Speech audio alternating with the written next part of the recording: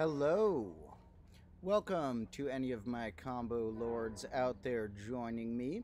I am Domotro here in my combo classroom where it is now grade negative two. A few live streams ago, I mentioned that we were wrapping up what I called grade negative one of my learning experience here, which could be seen as, to a degree, uh, an era, to a degree, the main channel will have a little season of a TV show of sorts per grade. And this channel, and well, I call it the main channel. My channel called Combo Class, which has actually much less subscribers than here, but is very close to 26,000. If 10 of you from this stream head over there, we'll get to the next amount of thousands.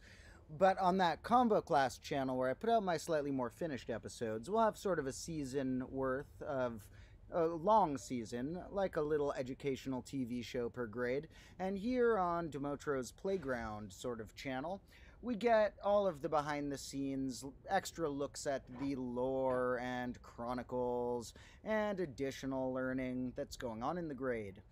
And I decided that it was time to switch grade negative one to grade negative two. Right now, it is sort of a seasonal shift in general. Uh, right now, due to the spring hitting, many cultures put a holiday right around now. You got Easter, you got Passover, and other celebrations that are related to the spring in terms of where they ended up sticking in the year in history. And I, in fact, did both of those types of events over this weekend. I did an Easter like egg coloring party, and I did actually two, I attended two different Jewish Passover Seders, which those are two different cultures, Easter being more of a Catholic or Christian, I'm not sure on all the details, or originated thing, and Passover being a Jewish thing. But what do these have in common is that they landed at the springtime because it's good to mark some sort of holiday as our plants are growing. We're heading toward the summer and we're at that unique part of the year. So I figured maybe at the beginning of spring is a good time to start our grade. And it's also been just about a year that I've been putting out any sort of footage online. Although this channel was started a bit less than a year ago, I did start filming the content for this channel just under a year ago. So just about like a year minus a day ago, I started filming some of the content that ended up on this channel. Welcome to everyone joining me. And now that we are here in our live stream chatting about our random grade negative 2 start, I will note there is an official little episode that's sort of like a little trailer to the grade, three or four minutes. Oh, and hey, one of my cats is coming over. Hey, Sage. Sage, come here. Oh, there's Sage coming. All right, I'm going to turn the camera so we can get some Sage in the shot, too. That's a good boy. Oh, he's exploring back here. He'll be in the right part of the shot anyway. So, here in the combo classroom, we have some upgrades for our new grade. And it's mostly going to be a similar sort of learning experience that we're just calling a new chapter. But there will be some upgrades. I have more time to spend on combo class. I have a hint more of a budget. I could sometimes have multiple camera people come or camera people come more often throughout the week. I can occasionally spend more time on animated or visual shots that I want to get done a certain way. And I can buy more rare supplies. And some of those include my super cool grandfather clock that I got used for cheap, which is super awesome. And as we pan over here, we can see one other class upgrade. For those who didn't see the intro to this grade, you know, some are going to love this, some are going to hate this. But I was going to decorate the big green wall over there. And although it still has room to write equations and stuff on, I decided to go for a big decoration. So I know it looks like it says ass when you hold it at the wrong angle, but it says combo class. So it's just a little reminder that we're here in the combo classroom. I had to whip out my spray paint again that I used earlier in the grade to get bring us to a new grade. But I then also realized that exactly the way it's positioned is that It does make the last three letters a little prominent if I'm at the wrong angle, so we're gonna have to be pretty cautious about what camera angle I have if I'm facing right there so we don't just get the last three letters in the shot. so, um, everyone should make sure to check out that little intro episode that includes setting that up and some other fun intro things here, like a bunch more dice that I got and such. But I also ended up getting some more really cool classroom upgrades that I didn't expect. And that's because I've mentioned here before that not too long ago I got a mailbox opened that's a private address that's not my home address, so people can mail me stuff and I can go check there every couple weeks, see what people have mailed me, and see if anybody wants to send me any sorts of things like clocks to put in the back of the combo classroom or other things they thought would suit the set here well.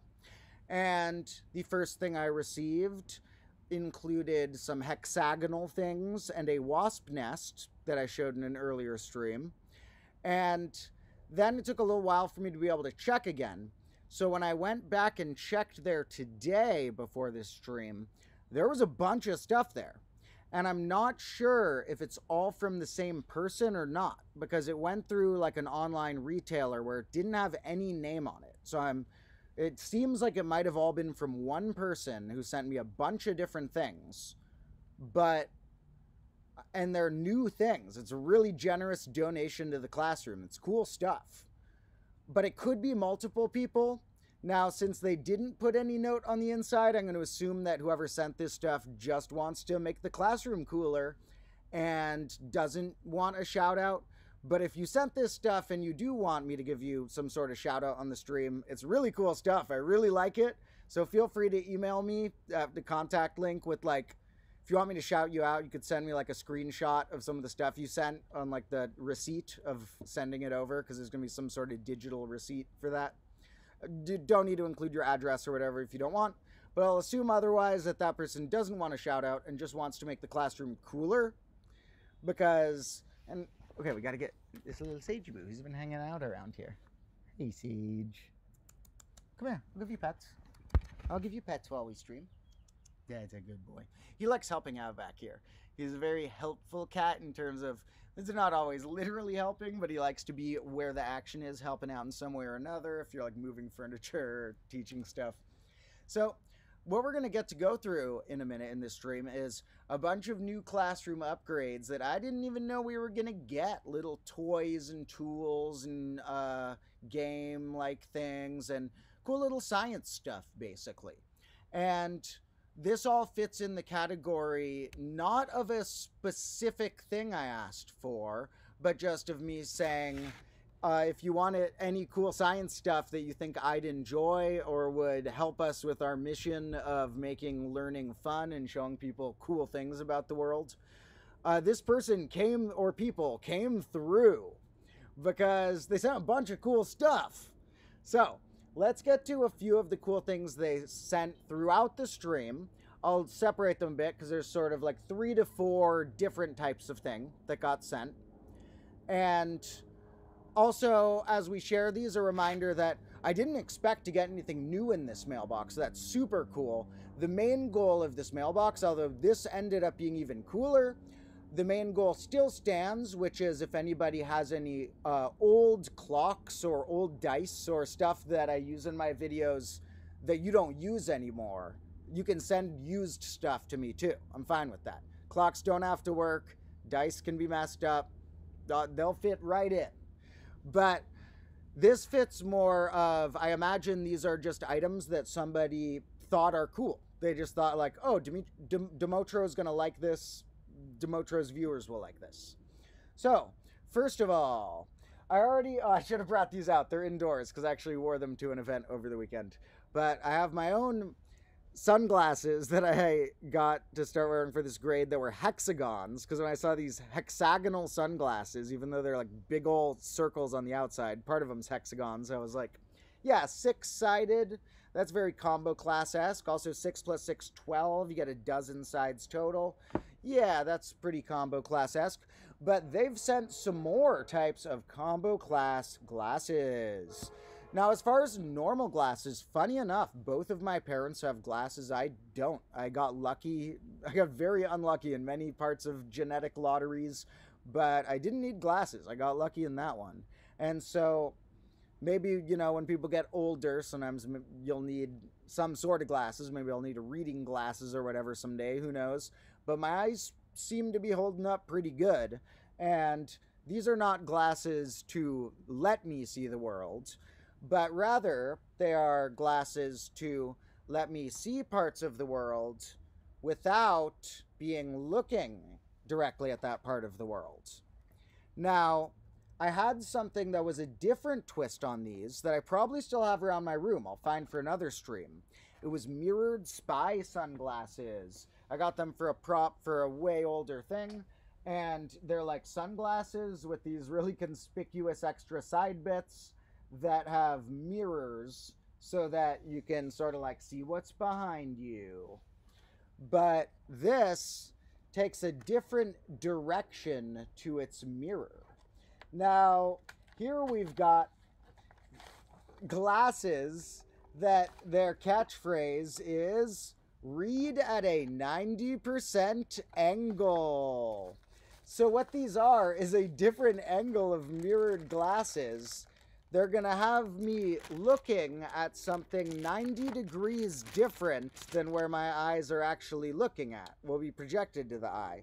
And yep, I am looking at the table. So that actually could be useful for filming because like this is exactly the center of my vision right here. You can't even see that probably. But if we were on camera, I could be staring you down in the eyes, you'd think, but really, I'm seeing all of whatever dice or measurements or whatever I got down here.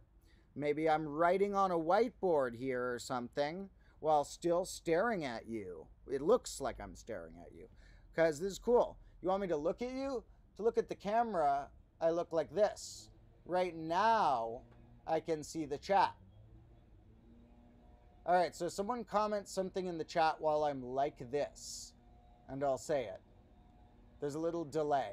The most recent one I saw was the, most recent string of Jewish letters, which, although I am uh, significantly Jewish as far as blood, I do not know how to read that.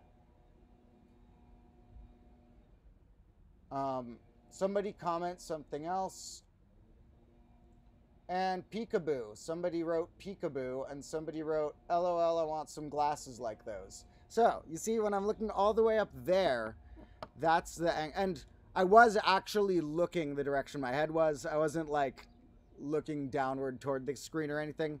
They're 90 degrees. Now, for the other test, can the screen see it this way? Can, can we get the illusion on the camera? And yeah, what are you seeing right now? What? Where is it going? Hmm. Something's going on. Something illusiony. That's where my head was. Now, here's the coolest part. It's not just these glasses. There's two types of mirrored glasses. The other type is either a different brand's interpretation of this or a different angle let's see. So we got these mirrored ones as well. And yeah, this is a different brand's version of the same concept. So this is super cool. I can test out which of these two work best. Unless coincidentally two people both sent me this. Um, I'm assuming whoever sent them just didn't know which one works the best and sent both or to have a backup. Maybe so me and a camera person can have them. And that's very neat. What I, okay, what happens if you try and do both at the same time though? So where am I actually seeing? I need to mirror the mirror.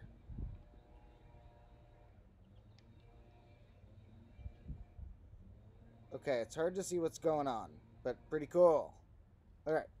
So these sunglasses are the first thing that got sent I will, throughout this stream, show the other things that this awesome person or persons sent to the Domotro mailbox.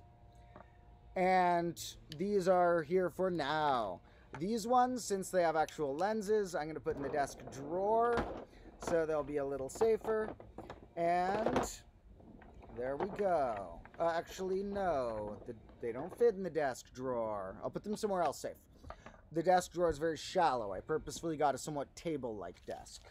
Uh, well, I don't know how purposefully we can call it. I got one of the first free desks I came across online, but it was a good table-like one. So, now we are going to move on to a little bit of mathy stuff because on the Monday streams, I was going chronologically through different mods of modular arithmetic, which is a good time to bring up because part of why I like those is because they're very symbolic of cycles of things. And I like the fact that although there's an infinite amount of numbers, we can put them into little cycles. And one of the good ways of cycling numbers to find patterns are these mods that are like today being the fifth Monday in a row where we've done something like this. So we're calling it the mod 5 episode not episode uh, when i say episode i usually mean the ones on the main combo class channel but the of the saga portion of the saga the mod 5 sector right now and so we'll discuss that one briefly. And to anyone who doesn't know what that means, it's basically like how much remainder a whole number has after division by 5, but it has a lot of cool patterns. It also could be seen as if I had a clock that was a five hour clock that ranged from 0 to 4. Or you could say 1 to 5, but it's way easier to call the 5 a 0 here. So from 0 to 4, what would happen when I did different things on that clock? For example, are there any square numbers that if you go that many hours on a five hour clock, you never end up at a particular time? Or prime numbers? Well, actually, yeah, both of those have things. And, I mean, the prime numbers aren't going to work as well here. We'll see in a minute how Mod 5 is going to have, for better or for worse, the traits that come with being a prime mod. And I say for better or for worse, meaning for better and for worse. There are discrete, like, eh, you know, mappable ways in which it's helpful to use a highly divisible mod, which a prime is the opposite of, and ways in which it's useful to use a prime mod, which 5 is. So it's funny that when we're using our modular arithmetic, depending on our goal and what we're looking at, sometimes we're going to get way better patterns out of something really divisible like mod 6 or mod 12. But there are really uh, useful traits of the mods that are primes, and like how primes in general are multiplicative building blocks of all the other positive integers, then I mean, apart from one, the, the building blocks are the ones bigger than one. The prime mods have some times where if we look at a big mod, we're going to want to split it into its primes to see what traits are going on in those. And we count in a base 10 system, which is 2 times 5, and mods are very similar to the last digit in a base. So, to a degree, our base 10 system is going to be a mix of whatever we have in mod 5 here and traits that are like binary or evens and odds, mod 2, because 2 times 5 gives us our 10. Now, it's not purely that we can just take, here's the 2, here's the 5, you know, that's the 10, but there are ways, patterns that we can build and see that certain patterns, it is basically like multiplying the 2 table and the 5 table. Now, what's going on in the 5 table? Well, we're going to draw for our Modular Mondays maybe our last addition table for a little while. And that's because the addition tables we're going to start to see look really similar.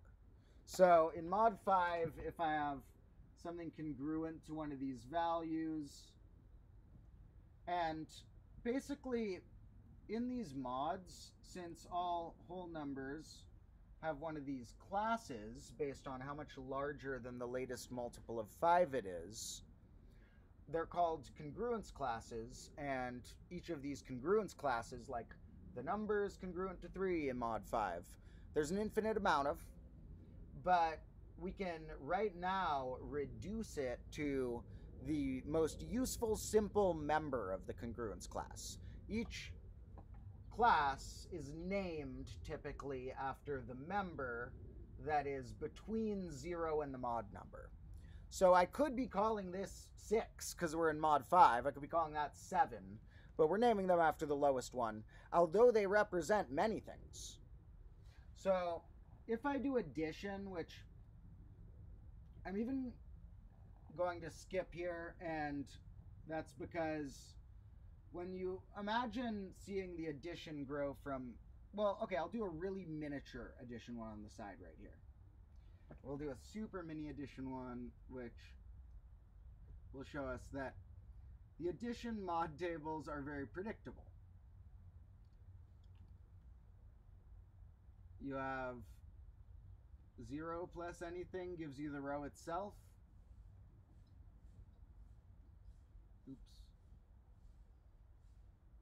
Oh, I made too many things here. Okay. Whoops. There. And then you have 1, adds 1 to it, and then cycles back to 0 right at the end. 2 adds 2 to it, then cycles back. I'll give an up close on this in a minute but it's really very predictable.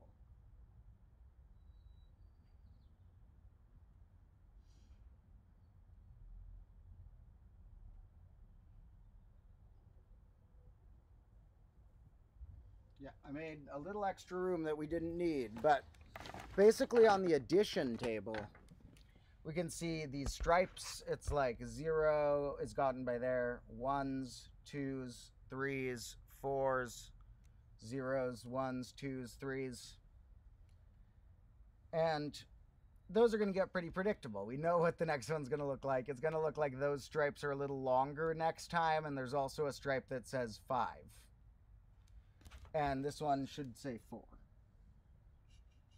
It's so messy that we don't even need this. We are going to destroy it.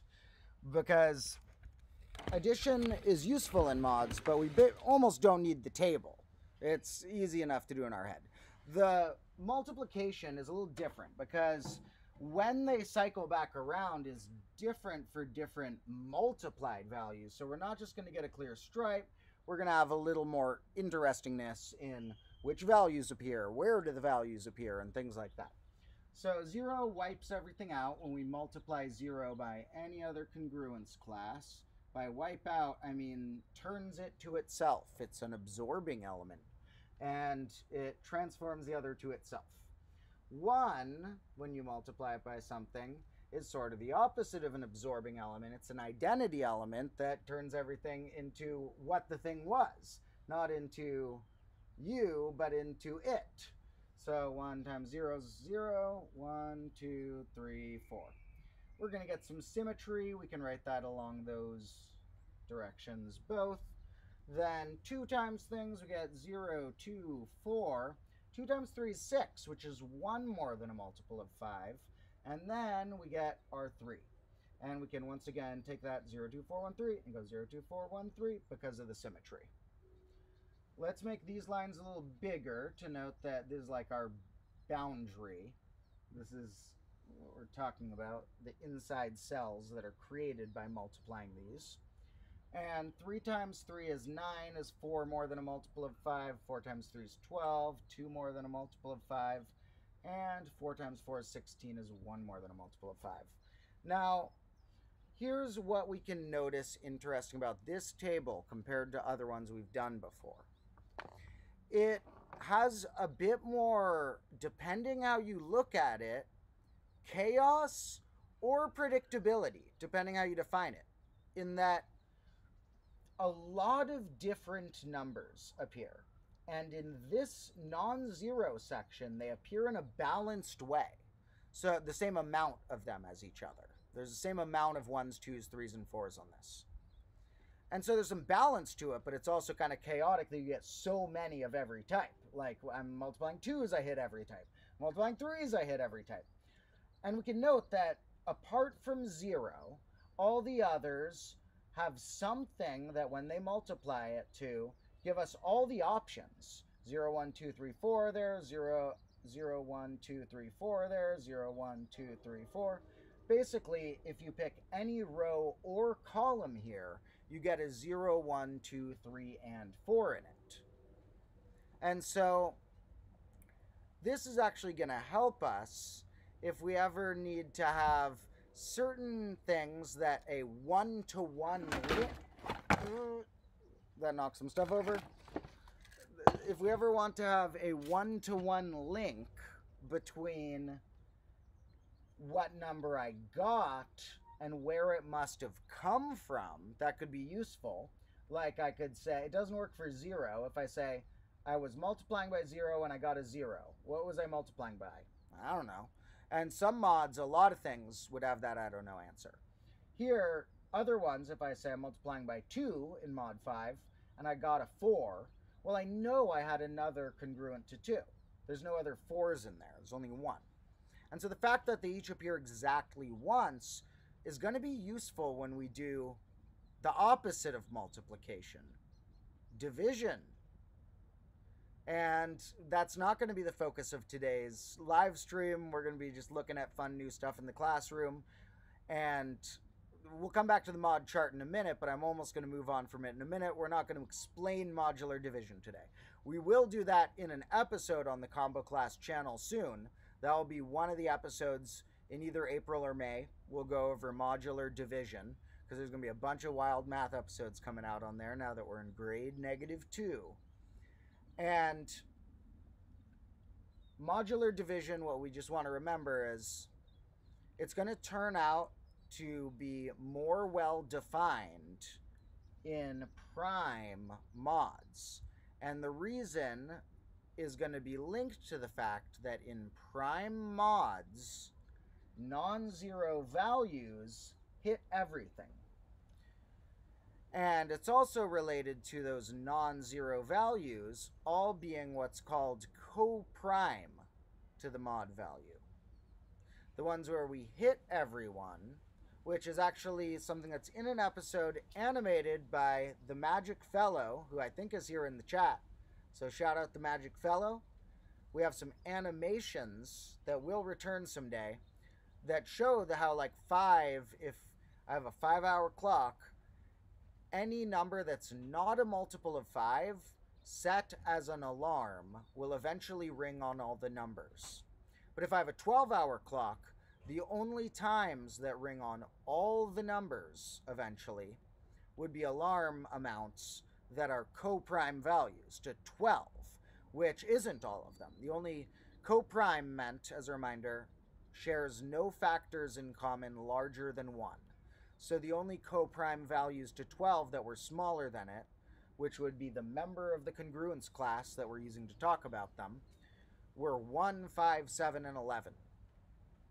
And in 5, though, every number less than 5, apart from 0 of the whole number, non-negative integers, is co-prime to it. Because how is it going to have a factor in common with it larger than 1 if it's not a multiple of it. It's a prime. And so we'll note that there's a lot of different ways of explaining this stuff. The way of explaining it with dots on a circle and as alarms is something I just came up with myself to try and show, cool, it's like clocks too. But there the common ways we could see this could be phrased as either in prime mods, when you multiply by any non-zero value, you're going to have a one-to-one correlation with an input type congruence class and one of each of the possible outputs.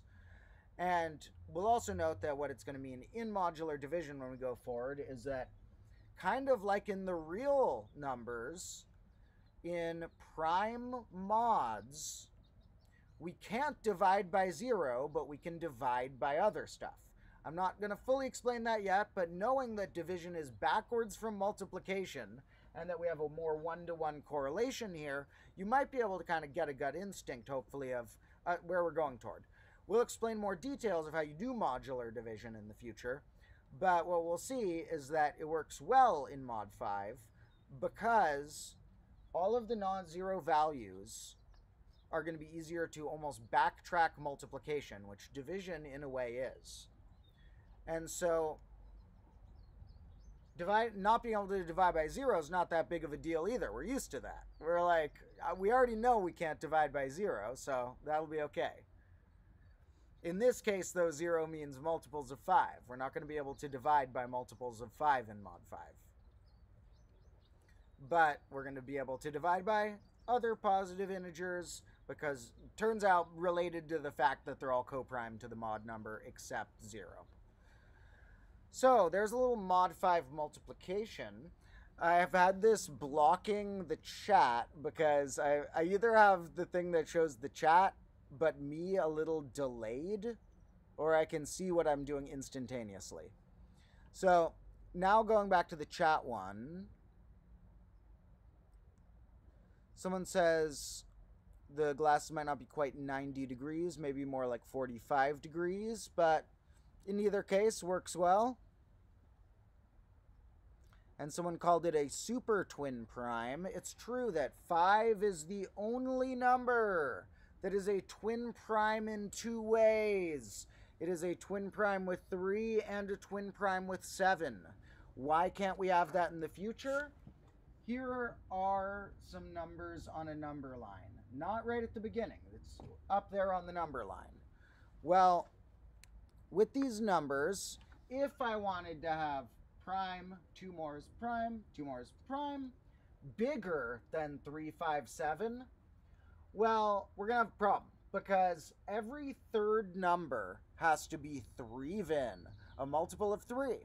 We dodged the evens because you could say, oh, maybe the evens are just bam, bam, bam, bam, right in between there. But what about the threevens? The threevens, or multiples of 3, have to be somewhere on here. We got five numbers, we got one to two threevens on there. So, if this was a threeven, then so is that one we said was supposed to be prime. If it's not, and the next one is, then this one we said is supposed to be prime isn't prime.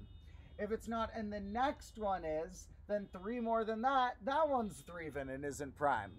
And if it's none of these, then we found three numbers in a row where none of them are a multiple of three, and that's not going to work. So, because of our good old threevens, uh, you can show that if you ever have prime, or like number, two more is another number, two more is another number, one of those is a multiple of three. So the only chance you get for it to be primes on all three of those is three, five, seven, and it worked out with those. So that is probably, if you had to give each number a special trait about, like, what is the most special about this number as I'm going one number at a time and mentioning them. You might say about five, the most notable thing about it is it's the first prime that has room around it. And it's all like two and three are right next to each other. So five's the first prime that has room. And it's also the first prime that beyond that has the minimal amount of room. And the only prime with the minimal amount of room beyond 2 and 3 which is three primes within a five number stretch. Can't get that again. So let's hope they solve that twin prime conjecture one of these years that's one of my favorites So, let's see. Um, you were saying the audio's low. Let me turn it up. That is probably because a while ago, there, it's probably better now. Um, let me know if it's too loud now, if it's clipping or anything, or if that's good. Because I can adjust my audio levels now, and I adjusted them the other day to film something through the same thing that I stream on and it ended up being hard to find the right level that's not what you call clipping, where it's way too loud or way too soft. So let me know if we're clipping now or if we're a little better. But looking at some more comments. People are saying Zero absorbs a lot of stuff, and it's true that uh, even outside the mod, in the whole real numbers, Zero does have the nickname absorbing element. That wasn't a nickname that I pulled out of the air. Like, you know, I like throwing nicknames at stuff, but that's one of the actually accepted nicknames. Uh, it's called an absorbing element. And so People are mentioning some other stuff. So Someone said a car alarm and a crashing drone. That's interesting, a crashing drone. I didn't know you can hear that sound. I guess it maybe makes a certain type of beep. I'm used to there being a lot of noises around here. We might get some streams or videos in front of a nice redwood tree that I'll be visiting tomorrow. Uh, you know, I'm going to be at a place with some nice redwood trees. So maybe we will do a stream or video in front of a nice big redwood.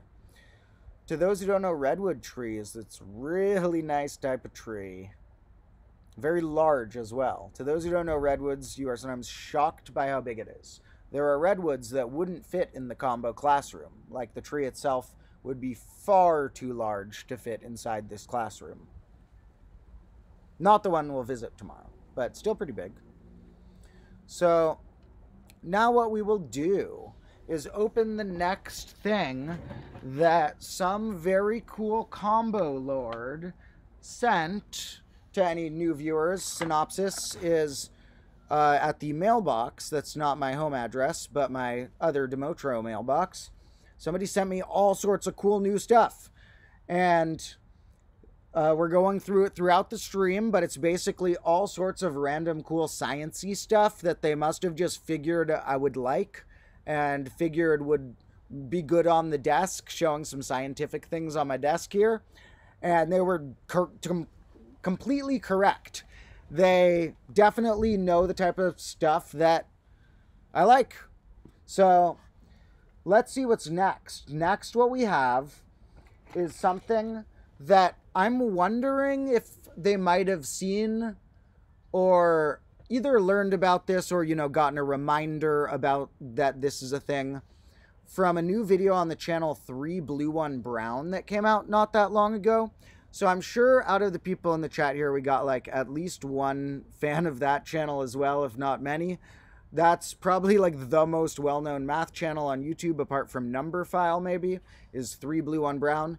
I love the guy. Grant Sand uh, Grant makes great um, animations and narrations, and that's a great channel. But one of their newer videos involved this thing at the beginning that before he animated the math behind it, he showed a little statistical device.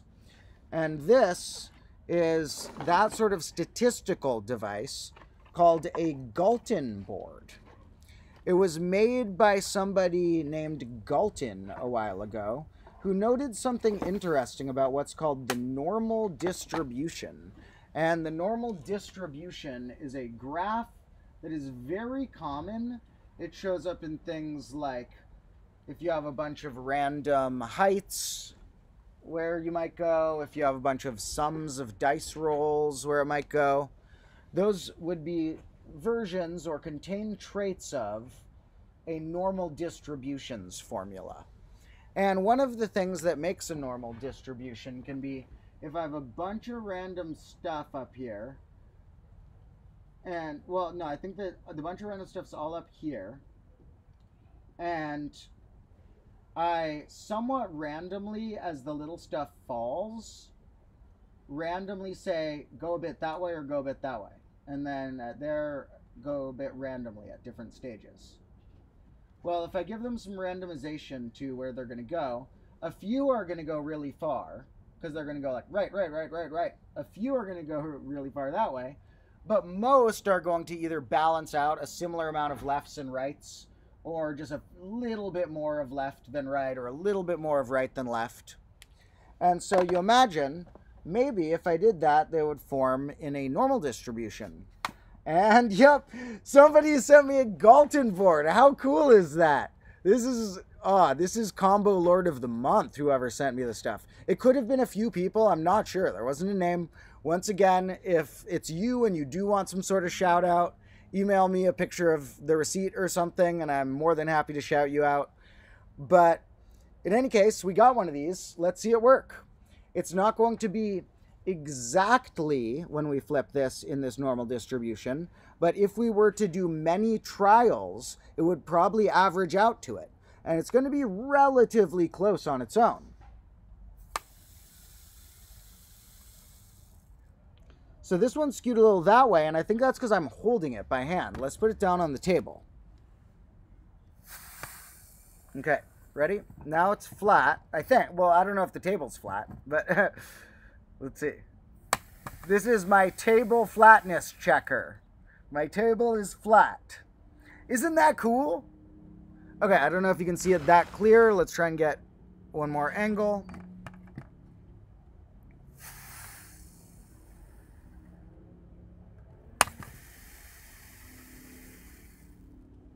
That is cool. All right. So, there is our Galton board. According to the box, the Galton board also can, and presumably the normal distribution related to it, can also relate to Pascal's triangle. Or I wonder why they're going about Pascal's triangle on here. Let's see. Yeah, because it's going to relate to these binomial coefficients that make up Pascal's triangle. They got some formulas on here. So we're going to have to spend some sort of bonus video or maybe probably won't need to do a main channel episode because to be honest, 3 Blue 1 Brown did a very good job at explaining with this thing.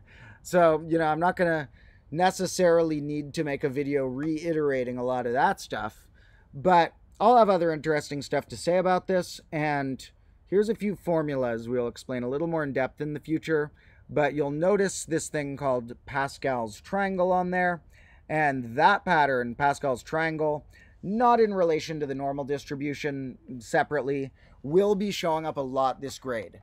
Pascal's triangle relates to the polygonal and polyhedral numbers and such that we'll be studying.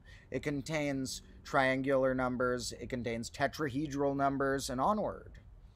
And so it also looks fractally when you interpret it in a mod. So you guys are going to have your minds blown when it all comes crashing together here because we're going to be able to combine, we're going to use triangular numbers to explain Pascal's triangle. And then we're going to show the real triangle, triangle, tri- triangle of triangles about it. And then when we know Pascal's triangle a little clearer here, we're going to combine Pascal's triangle and modular arithmetic to get a fractal. Can you believe that? That's one of those episodes I'm really excited about that I had planned to maybe put in grade negative one. Made grandiose enough brainstorms that I was like, I'm not quite ready to get this right. But now we're in grade negative two. Time to move onward to some of those deeper you know, five pages of brainstorm type topics. So, somebody mentioned that he calculated pi out of this in the 3 Blue 1 Brown video, and there is pi in the formula they do right there. There is also e in the formula right there. As well as arguably other, you can call the constant 1 half a constant but those are the, you know, some other familiar constants, pi and e. I don't know if you can see that very well. But, you know, three blue, one brown, one of Grant's things is finding pi in something and explaining where the circular motion was, because pi usually has something to do with circular motion. So, you know, that's one of his recurring things that we all, all of his viewers like me enjoy. And he had to do that again for sure we all have our own recurring things. I will say that I, you know, it's not helpful for me on a channel, on a live stream, to recommend another channel. There's going to be plenty of people who are watching this after the fact who stop watching this live stream and go over there. So, like, as a marketing person, I shouldn't be recommending channels, but I can't help whenever they come up to recommend either 3 Blue 1 Brown or Mathologer because those channels are just such good learning that it's just like good for the world for me to recommend them, even if it's not as good for my channel. So maybe someday I'll work with those guys. Those are legends in my book.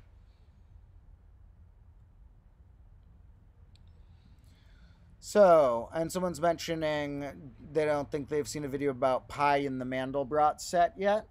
And yeah, there's a, a, lot of topics that I'm surprised haven't had a YouTube video on it. One of the slightly more popularish channels or something that, like, when I looked up some of my topics of the grade, like, has anyone done something about palindromic numbers? It's like, not that much. It's like, has anyone done anything about what's called prime signatures that I think are a really simple, deep way of looking at numbers? It's like, why aren't there any episodes talking about prime signatures on these other channels? And partially it's that some of those big channels are really into their ability to visualize geometric stuff, which is really cool. And partially because um, I don't do as much computer programming and I do more just like work in notebooks and whiteboards and stuff. My videos are more toward number theory, so some of the number theory concepts aren't as tapped into on YouTube. But there are certain things for my videos that I'm just shocked to look up and be like, why am I the result you get for that? There should be somebody with way more views explaining this concept. It's like a really good concept. And whoever recommended Vsauce, yes, I will have to recommend Vsauce too. Although Vsauce, and I mean the first one, like the all three of them are cool, but I mean the first one is not always math focused. Not only are the math ones good, but all the videos are good. So even though it's not always math, and a lot of them aren't very mathy, that's one of the greatest channels of all time. And yeah, Numberphile is cool too. And a bunch of others. The la- uh, since I shouted them all out, I got to give one more shout out to Matt Parker from Stand Up Maths. That guy's great too.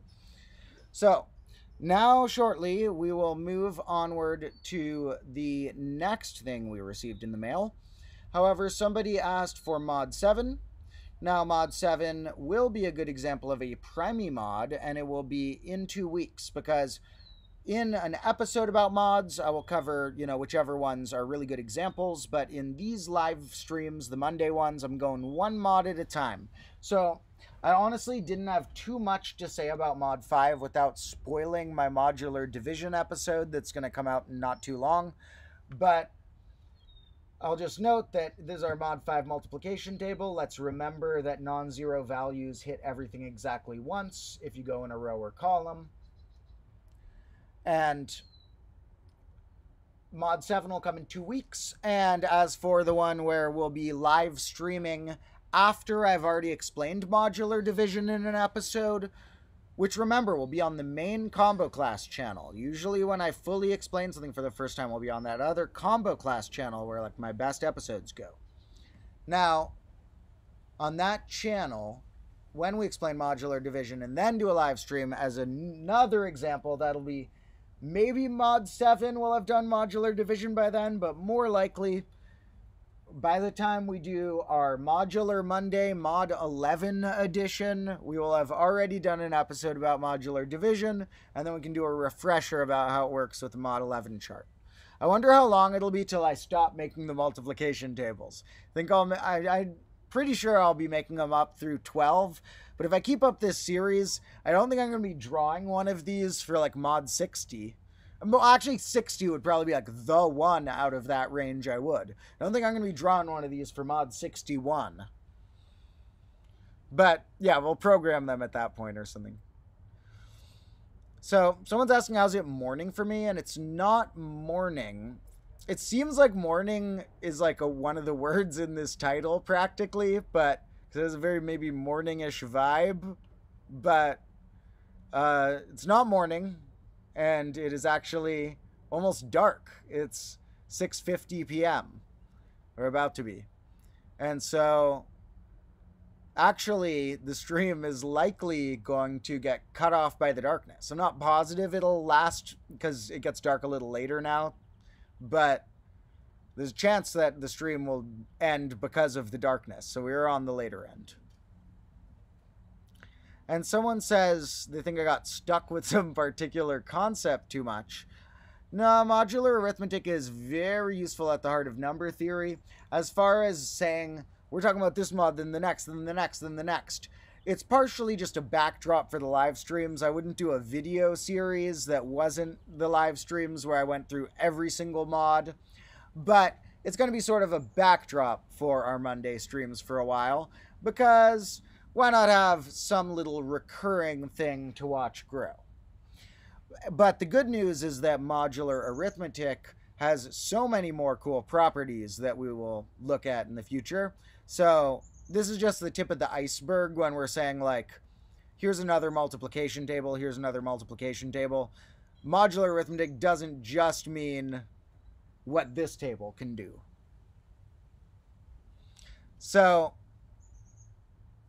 but I don't care if people want to try and criticize me. I have very thick skin. So I'm pretty confident on my ideas I like to do, and it's hard to dissuade me from doing things in my show the way I want to do them. So it'd be pretty hard to convince me to change the way I make my episodes or streams and stuff. But I always will, you know, listen to people Somebody says they will spend their life on the Collatz conjecture regardless of any progress. A lot of people have that be a fun one that they sink a lot of time into because it's an age old question. Other people have their own age old question they sink their teeth into. What we like around here is clocks. So if you say that it's one concept I got stuck on a little too much, well, I will note that it's partially to line up with the fact that we do have, you know, that many clocks. We're probably not going to do more modular tables than modular clocks will physically exist here. But that's just because I hope to get more than one clock per week this grade. Well, maybe not. Maybe we will pass the mod table per amount of clocks at some point. point and somebody says they don't like the darkness to take the stream so quick. And the darkness can always be overcome. I have a lantern from, you know, I left it out from my camping adventures the other week, so can always go grab a lantern if I need. Now, here, I think it's about time to look at another thing that someone sent me. Funny that we're talking about clocks because when I started open the mailbox, what I expected to get was a lot of old beat up clocks. Didn't as much expect to get a bunch of random cool science gear like this, or the wasp nest I got, or hexagonal trusses or stuff. But all of that was super cool. But maybe someday we will also have some of you folks send some of your own new clock. I mean, not new, your own used clocks that you want in the background here. Make sure they don't have, like, uh, I don't know, bed bugs or whatever. I don't I actually looked it up. There was a shop near me that had bed bugs. And I looked up, can bed bugs be in clocks? And it's like, yeah, they're, they can't be, they don't drill into the wood, but they can go into the crevices between bits of wood that are like glued together or screwed together. So I was like, okay, not getting my clocks there anymore. Those bed bugs are hard to eradicate. Now, let's hello to everybody saying highs and waves and such. And we're going to look at one more thing that one of these awesome combo lords sent me to that mailbox, which is the second last of the new things. And it is two, I'm not sure if they're going to be the same or different something cubic, but with snake in the name.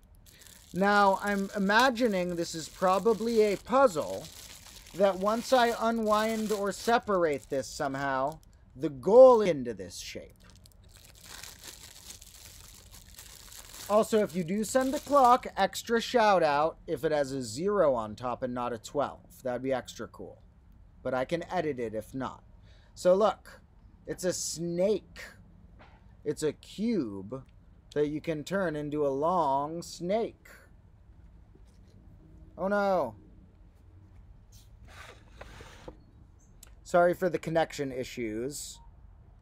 I need to... Hmm. Let's see. Hopefully our connection issues smooth out soon. Maybe I can also lower something about it to make it work better. Let me try and see if I can go a little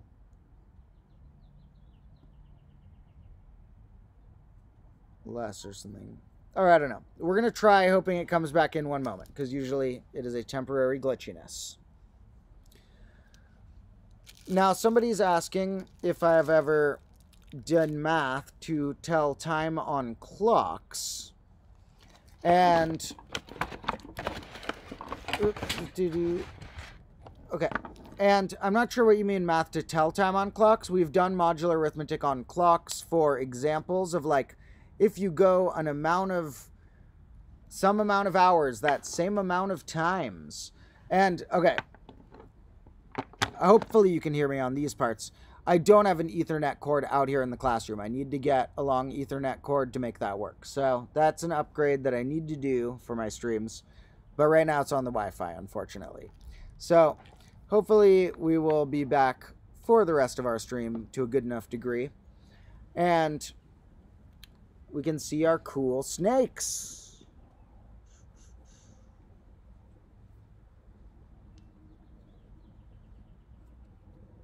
Yeah, these are cool. So now maybe I'm going to have to try and figure out how to get it back into a cube. Here's another one. So this is what I'll leave one as snake and one as cube for now. So I am going to, yes, as people said, I need to buy a long ethernet cord that will help things out around here. And believe it or not, even with those mirrored glasses, snakes, and golf. Oh, okay, that wasn't the new stuff. Don't worry, that was all the old stuff. So, oh man, there's a lot of stuff that we're dropping around here, but that's because it got really windy and all these clocks were on the walls, or mostly on the trees, and the wind knocks them all off.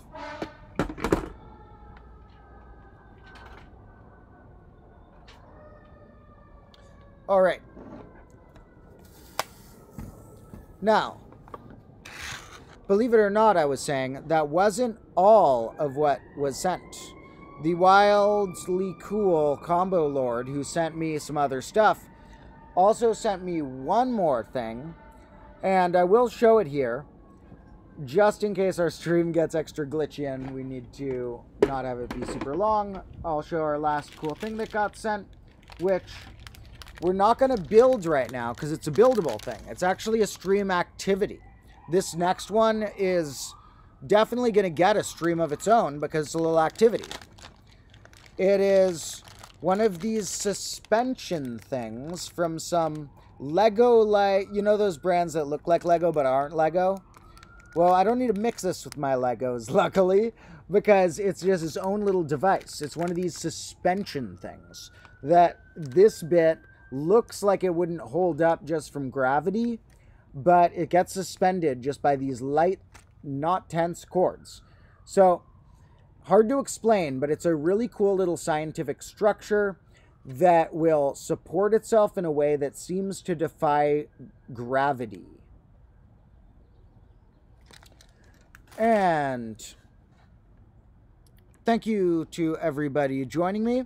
So these are going to be cool things that I'm going to set up on the desk. You can't see the whole desk right now because the computer's on it, but usually when we're filming whole videos and a camera person's further, we'll be able to see the whole desk. And we will now have snakes and a Galton board. And once we go and do this stream where we build this, we'll have one of these too.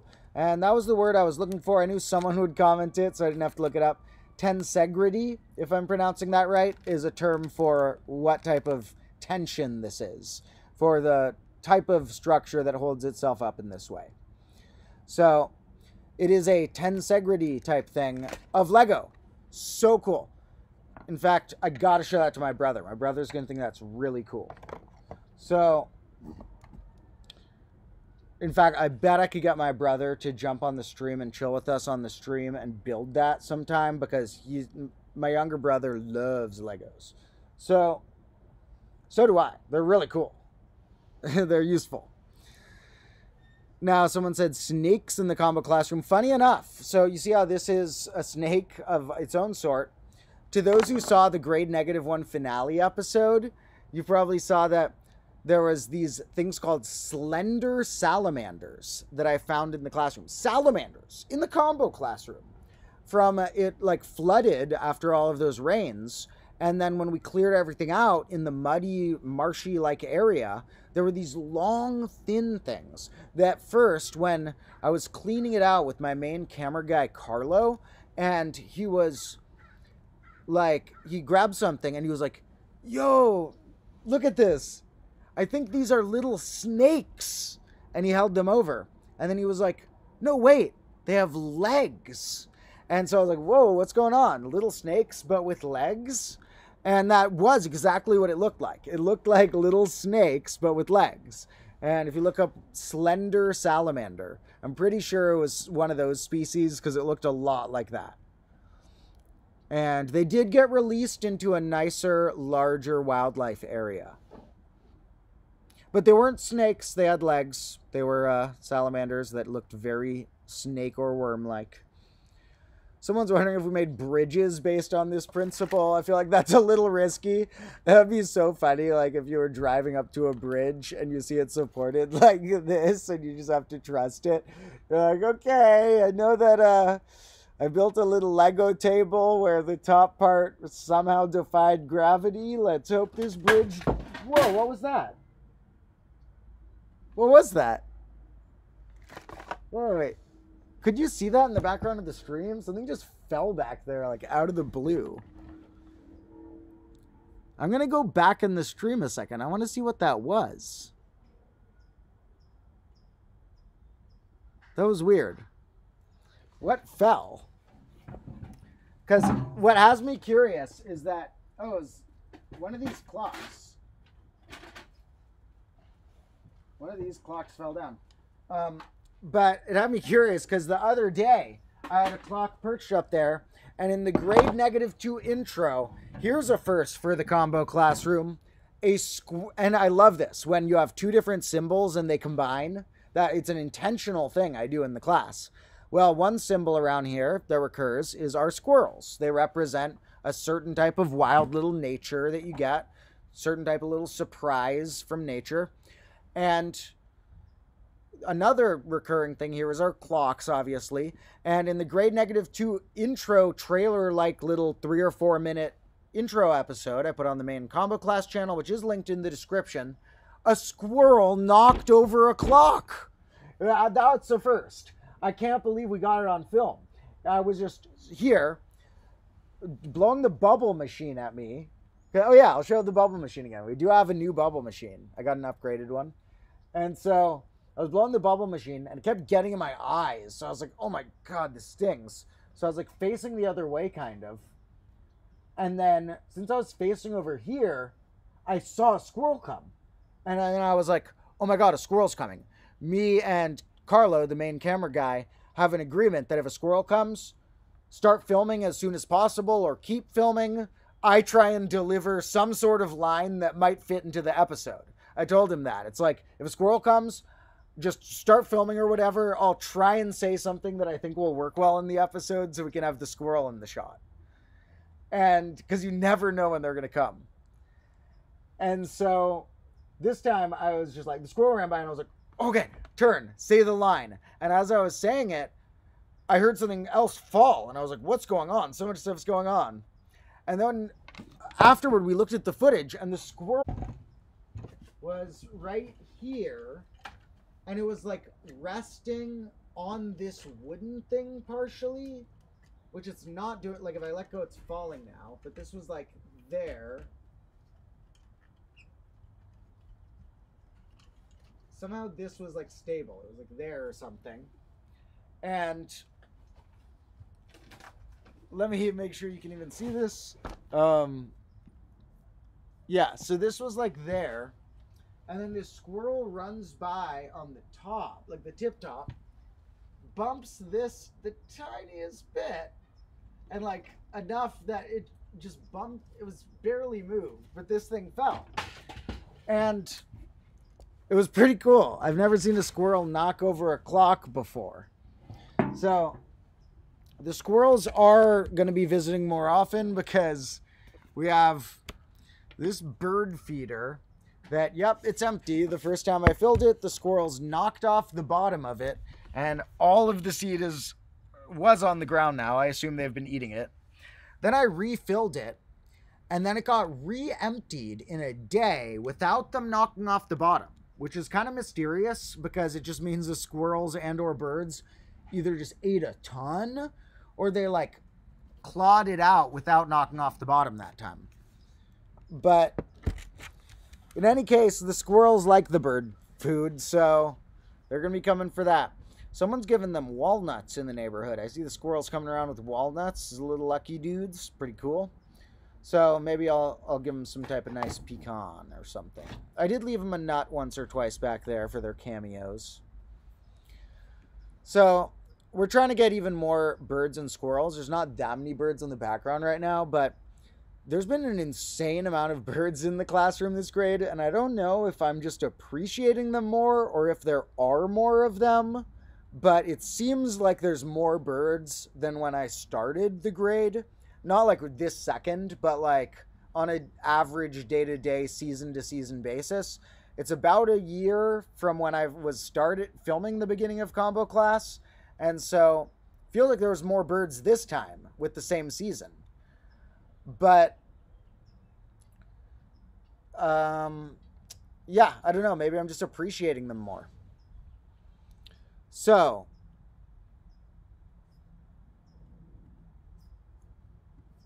Wait, what's going on? You traveled forward a couple seconds in time. What happened there was it that I glitched for a bit and then you I unglitched when I was moving around the classroom or something. That's funny. Yeah, well, we'll go with it being a weird magical power I have. Sometimes in shots, if you look at those episodes, I'll be standing next to a whiteboard and a little gust of wind will hit it in just the right way or a clock that it'll fall. Not all the stuff that I knocked over, I like knew was gonna fall or had even knew was crooked. Some of it's just like in the shot. And some people have looked at the episodes and been like, "Whoa, that guy has some weird magic power." It's uh, I'm assuming the wind, the dirt, the ghosts, the no, I'm kidding. Maybe.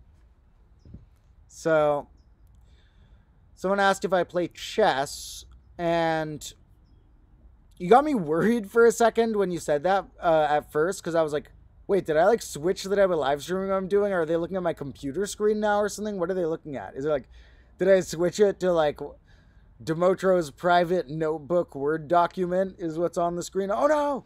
But, no. so, someone asked if I play chess, and occasionally I like chess. It's fun, and I was in a chess club when I was in fifth grade at the school. So like I've always liked chess to a degree. I don't play it that much. I never got into the online chess, so I have some friends who, since they play online chess, they play like once or twice every week, and they can beat me because I play like once or twice every year. I don't play very much, so you know I don't. I I am a low-ish level player. I would, I would beat someone who has only played once or twice. Like I know a little bit of strategy from back when I used to play but I only play a couple times a year, so not a pro by any means. There will be an episode or episodes at some point where we'll look at different things like the math of chess endgames, the math of chess being technically a game that could be solvable to prove either a first person win, a second person win, or a forced draw by either player but also that being possibly too big of a solution for the universe to contain. So that's a sort of interesting topic. And when I make an episode about solved games like that, I gotta get in. I haven't looked for it yet, so I still need to look online. But Someone let me know on the Discord or something if you uh, want to look this up. Apparently, Connect 4 is solved, and you can like prove the first person or second person win. I imagine it's a really massive amount of if this, then that, then if this, then that, then if this, then that. Probably an insane amount of data, not like a little thing you memorize because you need to know from different states what your next move is. But apparently it's solved. And if anyone gets in touch with, um, I haven't looked up yet where you find the solution to Connect 4 so I can beat all the kids at the park. No, so I can make an episode about how chess is also solvable but may not fit in the universe in the same way. Let me know. There's other uh, simple games like tic tac toe. I kind of want to. I think this will be good for my brain. I might try and prove myself the tic tac toe status of being able to force draws. So it's you know a fun thing to think through. How would you prove that you can force a draw? So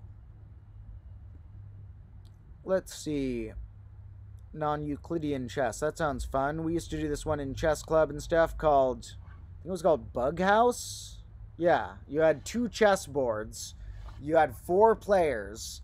You and a friend were different colors of chess pieces on the same team, though. So you're playing a game as the white pieces, they're playing a game as the black pieces, but you're on this like meta team. And then whenever you take a piece of your enemy, which is the color of your teammate, you give it to them and there's some way that they're able to regenerate it into the play as one of their pieces now. So it's like this cycle back and forth between the boards. I don't remember the exact rules, but that was cool. Someone's wondering what game is the most mathematical in nature. I mean, re- you can't really say the most mathematical because any of these could be described by math. You could say maybe there are categories of game that are not as mathematical, but within the category that we've described, all of those could be described in purely mathematical terms. And so, in the purely mathematical terms, you can't really say which is the most mathematical, like they're all equations. If you said which is the most strategic or which is the hardest to solve, or there's various questions like that. The most strategic of the ones I mentioned is definitely chess, but I don't know. I'm interested in designing my own board games. I think that there's board games out there that have less, not like in the world being played, but like in the possibility of all the possible board game realm. There's a possible board game with less pieces than chess, but still enough strategic complexity that it's too hard for a computer to ever solve. And so I think they could make a better chess. Uh, I'll make some different board games in time, but I'll also play chess a few times a year because it's fun. But it's not. It's a little arbitrary the way the pieces work. You know, it. Why, why does en passant exist really? So, it, it's a little arbitrary some of the stuff. So, it, there could be a simpler chess. I think it's an interesting idea that I would like to go into someday is trying to, you know, from scratch build simplest rule set, hardest to solve strategy. What is what's the ratio you can get? Cuz chess has a really strategic level, but it's not the simplest rules. It, you know, it has a decent amount of different types of piece. I think you could make a good game with only maybe like four or five different types of piece instead of it having so many different types. All right. Someone asked, why would you put a cat on top? I'm not sure what you're referring to. A cat on top of where? And someone said they mentioned something about Minecraft modeling tiling problems. Minecraft is very cubey, you know. I I don't think I've played Minecraft myself, but I've certainly know enough about it from being a big fan of YouTube and it being tangentially connected to YouTube culture. But it's very cubey as far as I know. So, you know, sort of like this, but even in more of a grid like pattern. And so those tessellate space. In fact, we'll do a bonus video sometime soon, or maybe even a full episode about this new shape they found. Somebody pointed it out in a stream here once. It happened like right before one of my streams, I guess, and someone was like, they just discovered the new shape while we were streaming. And sometime around then, it was like a few weeks ago, science, uh, mathematicians discovered a new type of shape, which is called an aperiodic monotile. And they've been looking for one for many years. And it's a really simple looking shape. It's like one of those like hiding in front of your eyes type things. It's surprisingly simple. And so I think that that will need an episode here or at least a bonus video because it's pretty cool. It relates uh, we can mix it in with the topic of what's called Penrose tilings, which are very similar but involve two types of tile. In a way, the precursor to this aperiodic monotile that was discovered just within the last month. Uh, like, not within April, I don't think, but within the last, I think it was in March maybe, sometime really recently. They might have discovered it a little before that and popularized it then. I don't know. I'll look at the history, I'll check it. I know that a week or two ago, I saw it in a normal newspaper, got an article about it, and I saw it in like math online stuff. But I'm not sure if there's any. I haven't looked up if people have made videos about it yet. I uh, probably will make one myself. So cubes are cool, but they're not the only thing that can tessellate space. It's all okay. Don't worry. Nothing destroyed. So, somebody is recommending the subreddit Anarchy Chess. I have been there. It's kind of funny. It is pretty funny. So, people should go to the combo class subreddit sometime, remember? And post some interesting thoughts because I try also the Discord, which will come up in a moment.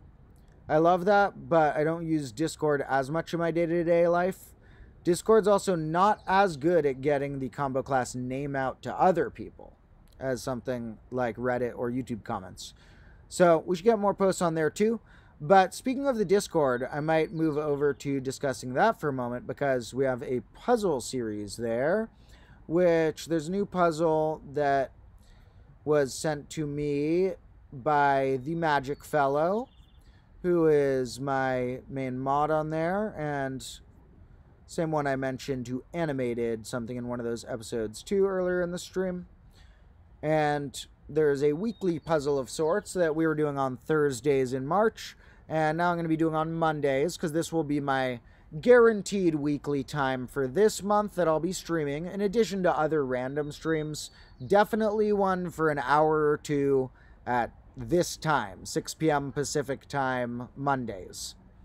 So, and other random ones. Since this is the fixed one, I decided this will be the one where on Mondays we will, in April, be doing that as our puzzle day where we present a new possible puzzle that you folks can think about. And to those who do want to participate in the answering part, you can go to the Discord, uh, the combo class one, which is should be linked in the description here. Let me double check that. Uh, yeah, and there's a section there for discussing that and giving answers. And I'll also give a shout out typically to whoever's the first to answer it and maybe sometimes too if anyone adds any particular cool extensions or other answers or anything. And in this case, to make sure I get the shout out in, let me pull up that Discord. And it is a fun place to chat with combo lords there. I love the community we have building there. It is, I don't have, I didn't have as much time to go on there but now my schedule is opening up more with me transforming to combo land and grade negative 2. So I'm going to return to poking through some of the sub forums on there probably over this week. A lot of fun conversations.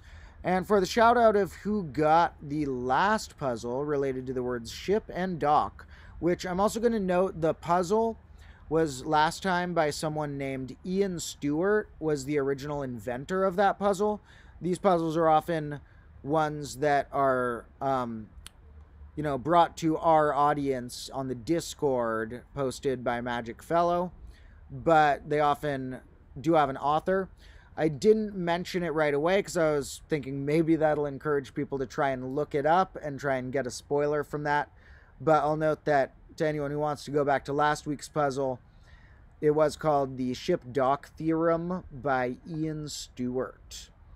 Now, the first person who got that was Pokemon Hacks 43, who has gotten some of these, spelled PKMNHX43. And the puzzle that's going to be coming this week, um, I guess I'll do the puzzle right now, and then the stream's not going to last too much longer because either the darkness is going to cut us off, or if I start glitching again, since I don't have too much left to say, if we either get too glitchy or dark, I might be like, all right, bye, folks, see you tomorrow. So we're going to present the puzzle now as well, which is a geometric one, and it is given a cross-like shape, where if you imagined this sort of cross, some call a Swiss cross due to being on that flag. I, the one in the puzzle is just an image that, although the Swiss cross itself is a, little elongated, so if you do the exact Swiss one, these would be a little longer the picture in the image looks somewhat like we have a type of cross made up with equal squares. Now, the question is you get to cut this with two straight cuts, basically drawing two straight lines through it. You're not going to cut and rearrange and then cut. You're just going to draw two lines through it you have to cut it into four pieces that are not only congruent, which with polygon like things like this, congruent means same shape and size, but could be rotated or flipped version. So it can be flipped or rotated or slid over version of, but has to be same shape and size. They have to be four congruent shapes, but they also have to be able to be rearranged into a square. So the puzzle is to cut this with two straight lines so that not only are the pieces congruent, but we can reassemble the four pieces into a square out of this type of cross. So That'll be this week's puzzle to anyone who wants to test your brain. It's good to challenge your brain with stuff like that. I love puzzle books, and I do a lot of puzzle like investigations on my own. Things like, what would happen if I make an integer sequence that does this? Or what would happen if I test out this property of numbers? And try and puzzle through things. It's a good way to not only come toward either facts that you have a better gut feeling for than just being told them, or new discoveries, or just, you know, training the brain. So, somebody's mentioning that you can generate rep units, which I sometimes call hyper 11s, in base 10 by writing them of the form 3 plus 4 times 2, where the 2 can have any amount of 7s behind it. Like 2 7, 2 7 7, 2 7 7 7 yeah, I would have to check exactly what you mean by that, but there are some cool ways we can make those Hyper 11 fellows by multiplying certain strings of things into a larger string. It's also fun to see the components that make up each one. I love these Hyper 11s so much that I happen to know that 1 1, well, 1 1 11 is obviously prime, the 1 1 in our base. But 1 1 1, not everyone knows. I do remember is 3 times 37 because it's the structure of this Hyper 11. There's another one that's it's either the four or five ones one that involves times 271. And there's like certain rep unit factors that are imprinted in my brain. there will be an episode about the Hyper 11s coming back because I did an episode and lots of chats about these Hyper 11e numbers composed of all ones in different bases. But there's still one open conjecture about them that I didn't go into. That's a subfamily of them, like a subfamily of certain ones of them, like a certain amount of ones in it. And not the ones that are Hyper 11s in base 10, but the ones that are Hyper 11s in binary. So it's sort of going back to the Mersenne primes, which are the largest prime numbers ever discovered and are hyper 11s in binary. Well, we are going to come back to a still open question and unique subfamily of those. So, somebody is wondering if I saw 3 Blue 1 Brown's latest video. Uh, you must have missed a little earlier on the stream because I noted not only did I see that uh, about the normal distribution and pi being like that thing called the Galton board, but an awesome combo lord mailed me one of those. This came in the mailbox, if you didn't see that part of the stream. And yes, it was extra cool because I had just seen a video from one of the greatest math channels explaining it. So, and I wasn't talking about myself to anyone. So, someone said, Am I on the West Coast? I am. I'm in California. In fact, I'm in the Bay Area of California, and anyone who's in the Bay Area of California who thinks they might want to help out on set or something, you can feel free to email me. Somebody's wondering what would happen if you didn't have the A or the BI of a complex number. Well, then you'd just have a real or imaginary one, which is still, still technically in the complex numbers. Complex is a bigger realm that includes it all. So let's think of an example. Like if I say English is a language. So if I say like, what are the languages people speak? English is one of those and it's in there. This is a very rough analogy, but sort of like that. The complex numbers have you know, this language and this language, and they are their own language that's a bigger meta thing. And so, okay, I'm going to abandon the analogy and just go to the what would happen. You know, if you add the number 3 plus 2i and you deleted part of that, you're either left with 3 or 2i. Both of those are called complex numbers, but we don't need to use the term complex to describe them because complex is usually saved for when it's like the only when it's not real or imaginary so we're left with but it is complex. But in those cases it's you know the particular type of complex numbers that are on the real number line or on the imaginary number line will usually be called just real or imaginary because it clarifies more details about them. So someone's wondering if i'll ever make a video about chat gpt um, if you mean on the main combo class channel, because you said will combo class, then that'll probably come up in an episode about AI. I'll probably at some point do an episode about AI, and there'll be a few minute section of it that is the hilariously bad math answers I've gotten from ChatGPT.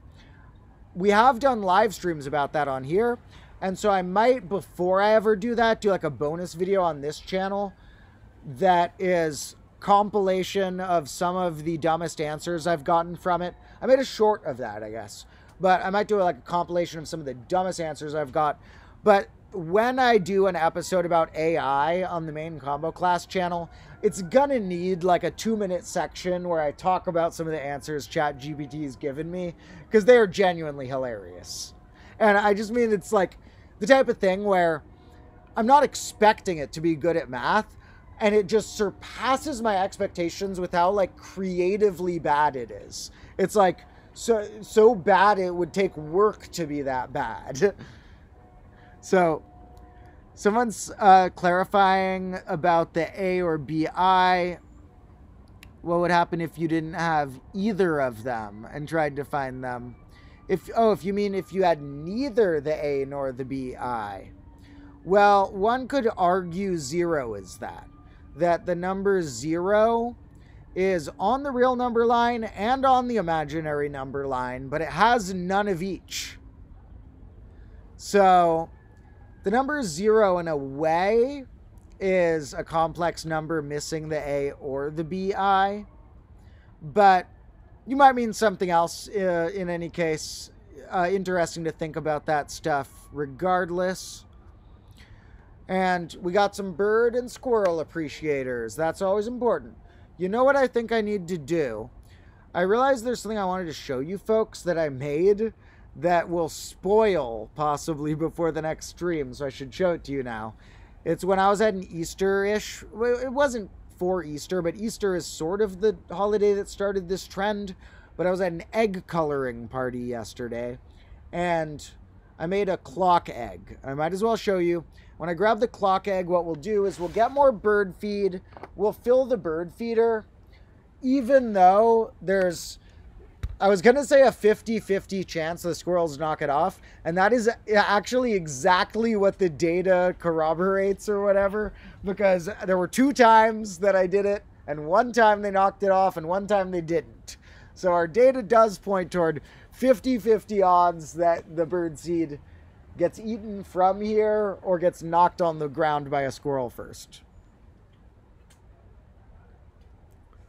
And someone's saying, there someone was wondering about how reliable chat gpt is and most of the answers are warning against it just to get back to the comments i would highly recommend not using it to copy something important.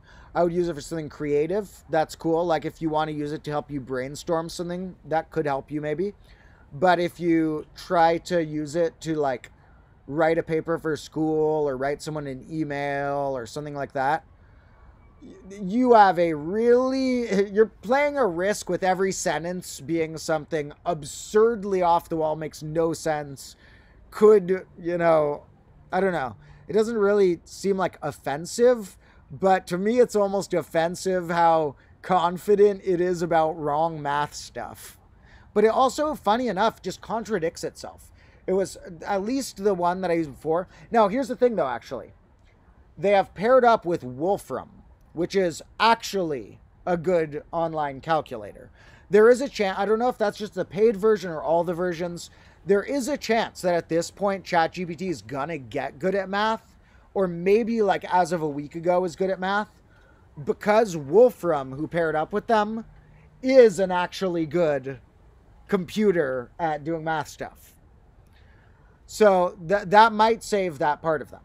And then my terrible answers for them will almost be even more historic. If ChatGPT becomes this trusted thing, I have all these saved answers of it telling me, like, five is the only multi digit composite number. And then the funny thing is, like, the next sentence, they'll contradict itself, where it's a bad language model in that, or it was at least. It'll say something's true and then say the same words, but with not in it, and is true. It's like, you should just know as a language model that you don't say a string of words and then the string of words but with a not in them also. So it's really weird. Kind of comical how bad it is. It all every time I ask it something, I'm like, it's probably gonna when I asked it a question, it's probably gonna get a little part of this wrong. And it'll just like blow me away by how creatively off it is. And someone says it is also academic dishonesty. That's true. There's a reason it's banned. It doesn't help you learn to copy that way. Don't cheat in that way. It doesn't help you learn. So, of course, it would be, you know, you'd get in trouble too. You really don't want plagiarism on your record. And also, you want to learn. So, you know, don't use it to cheat for other reasons as well. Not just because you'll be wrong. But I just think it would be funny if if you, someone used that thing to cheat on like a math related essay. I, I just want to be a fly on the wall for the after class talk they had to have with their professor, where the professor's like, I'm just like curious why you wrote five is the only three digit triangular number because it is the only number that is the square of i or like just some of the stuff that it does and you read in class like oh um i meant if anyone does want to see that funny stuff it's in the titles of some of my really old streams. So after this stream, which isn't going to be too long, you can always go to one of the older streams that has Chat GPT in the name. Because I've done it a few random times, but mostly in the ones that have that in the name. I pretty much I think every single stream I've done on here is still archived. I can't think of any that aren't. Like I want to factually say that they all are, but or maybe what makes me think they're not is one processed as a video or something. Because yeah, I think one's under the videos. Um, I'm not hundred percent sure, but I'm like 99% sure that everything I've ever streamed on YouTube is still available content. So let's see. And about it passing tests with ChatGPT and stuff, remember that I also made an episode about how tests are not a measure of a human's true intelligence or competence in a skill always. And so, why would there be a good test of a robot if they're not always a good test of a human? I think that we should uh, set the robots out on some math proofs, and when they prove some more stuff, we'll trust them more. I gave the robots a point of credit for helping prove the four color map theorem. We haven't gone into that quite yet, but computers have assisted in a proof that is controversial because it's too long of a proof for humans to check the computer part. They narrowed it down to an insane amount of things that had to be checked and proved that if the computer checked all those, then something would hold. So there was a proof element the mathematicians had to do, but there were too many to check by hand. And so there's already one result that some people say is proven and some say still needs a more thorough proof because a computer helped with it. And in that case, I'm leaning toward believing those computers. I don't see any reason why the four color map theorem wouldn't be true in that case or that they got anything wrong. But it is a great question of how much do you have to double check these computers before you let them be part of the proof? Oh, but the funniest one with ChatGPT is when I asked it the other week about, I was like, did you get better at math? And they're like, yes, I'm better at math. And it says that on their website too. Then I asked them some stuff about math. They were wrong. And I was like, mm, that's not true. And they're like, oh, I'm sorry. I got that all wrong. I'm not designed to do math. And then I said, huh, earlier you told me, well, I was thinking, you know, earlier it told me I am good at math. And then so I asked it, this is on one of the older streams, are you are you did you or what was it? I asked it something like did you not get better at math, but you actually just got better at telling people that you're good at math? And it said yes. So it confirmed that. It said yes. I did not get better at math. I got better at telling people I got better at math, which it did tell me earlier that it got better at math. So it's willing to contradict itself. Good trait for a robot, but we can see that it's finding problems in itself.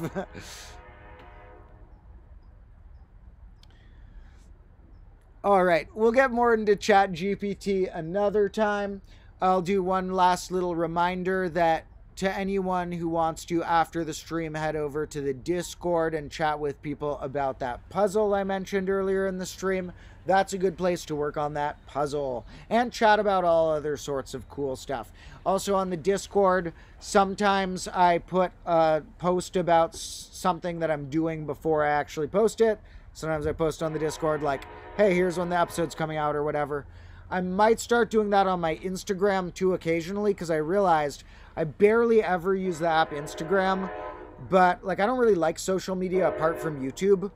I, so I only have like, you know, 40 or 50 maybe photos on there total ever. But when you search Domotro, the Instagram is one of the first things that comes up because the thing is Lord Domotro.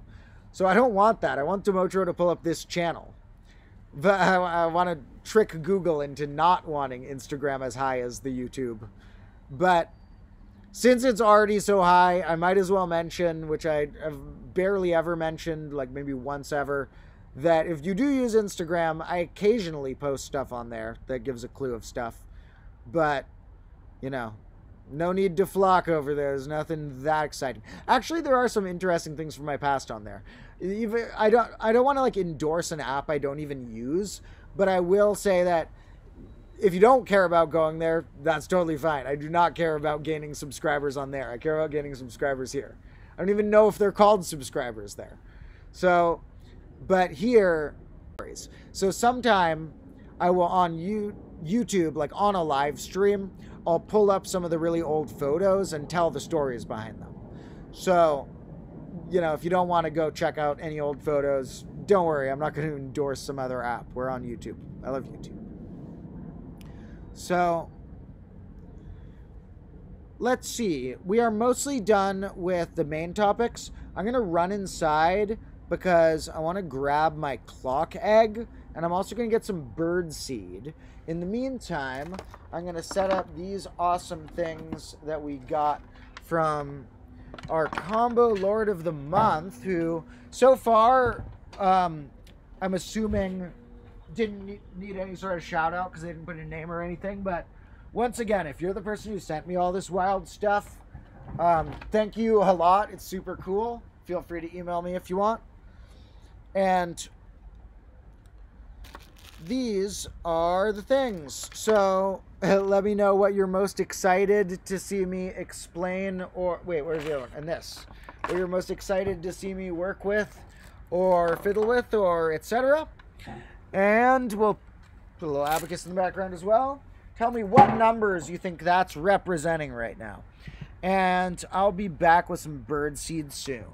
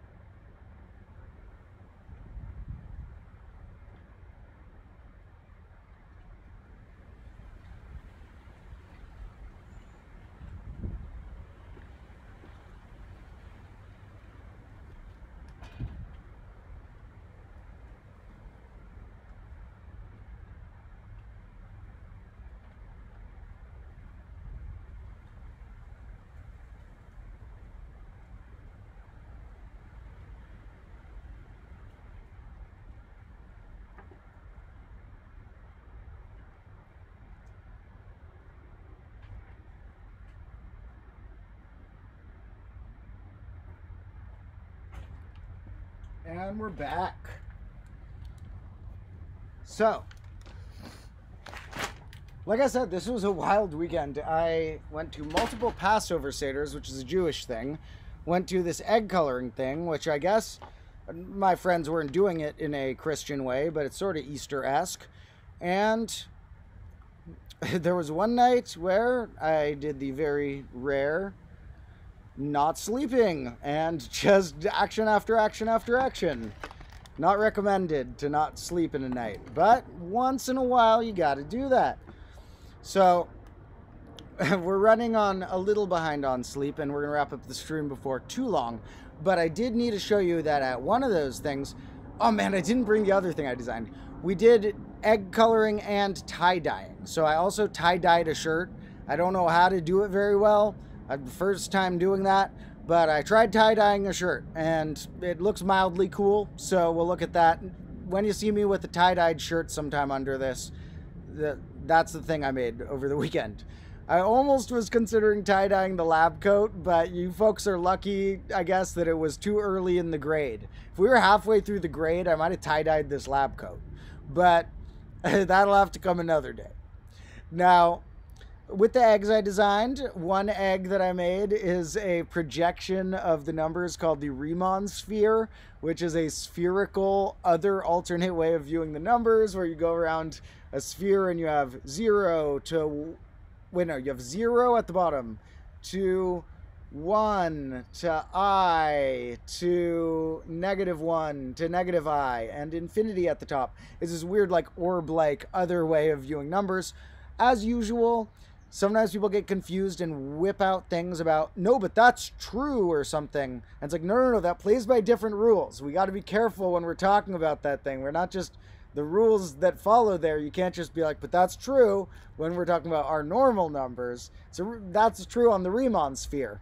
But it's a really cool type of way of viewing numbers we'll look at in the future. So i drew that on an egg. But also drew this on an egg. We got our clock.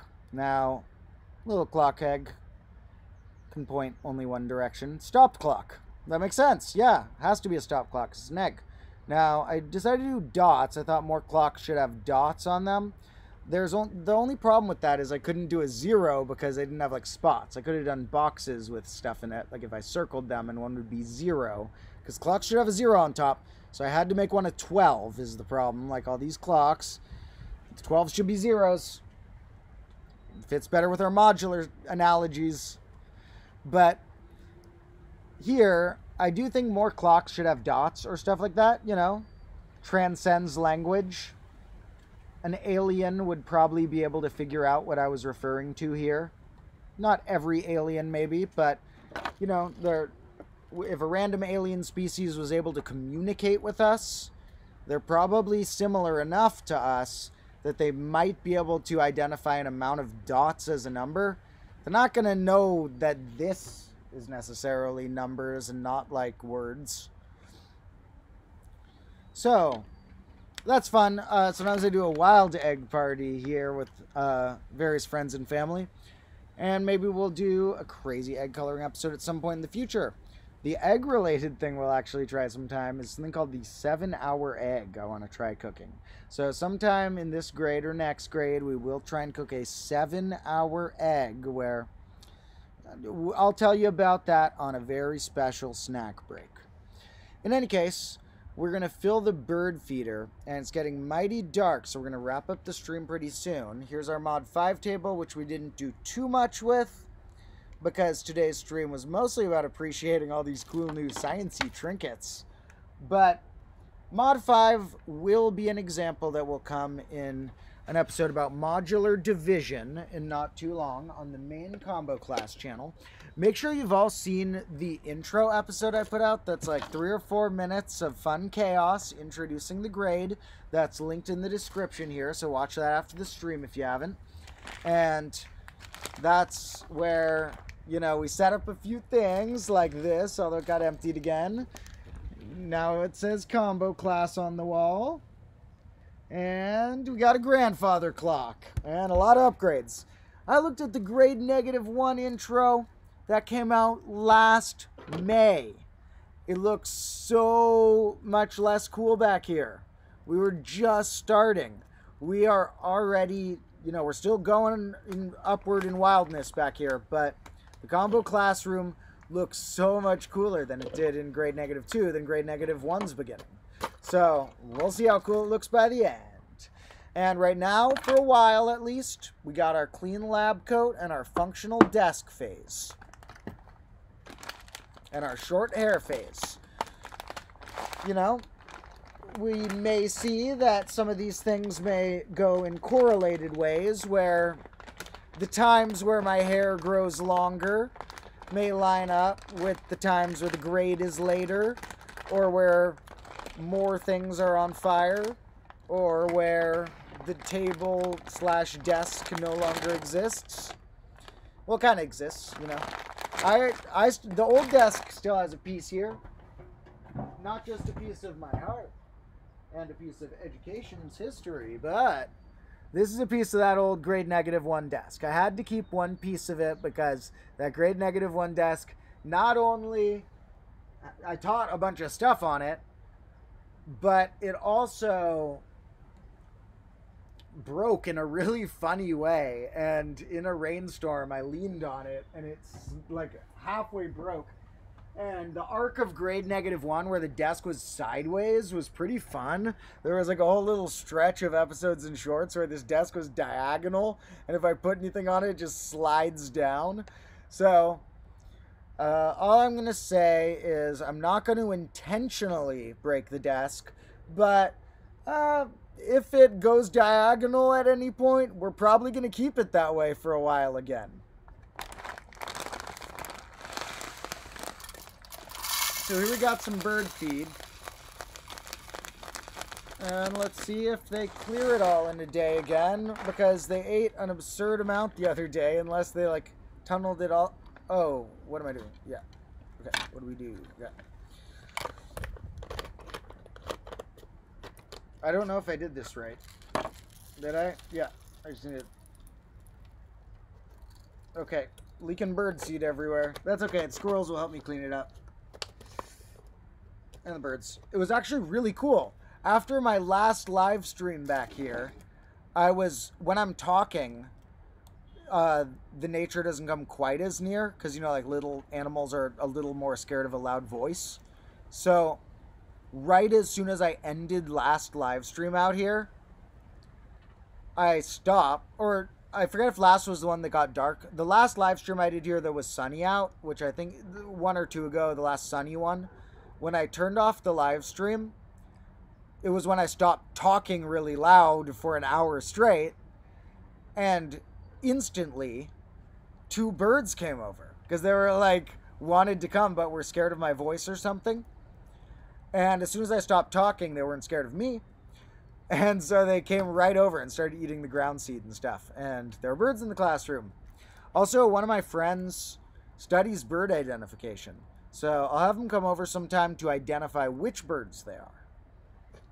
So here we got our bird feeder thing. Uh, pretty nifty, huh? Me and uh, Carlo, who does a bunch of the filming here, nailed this into a tree. Has a little thing sticking out of it. Technically, what this was, it was part of. Whoa! This really old whiteboard back here.